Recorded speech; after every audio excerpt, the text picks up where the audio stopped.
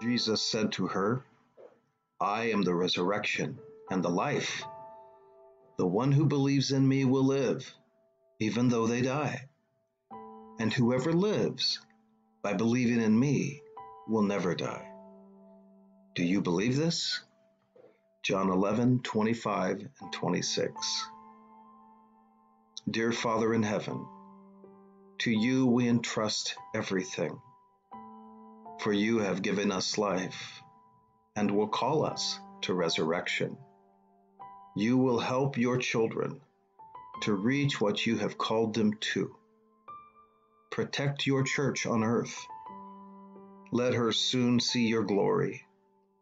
Let her see Jesus Christ intervening in the lives and destinies of people until, shaken and trembling, they have to recognize that they should love and honor Jesus alone.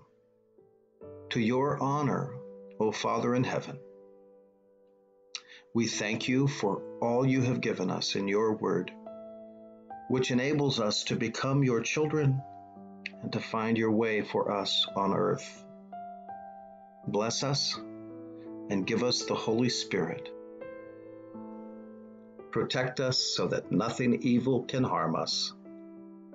Amen.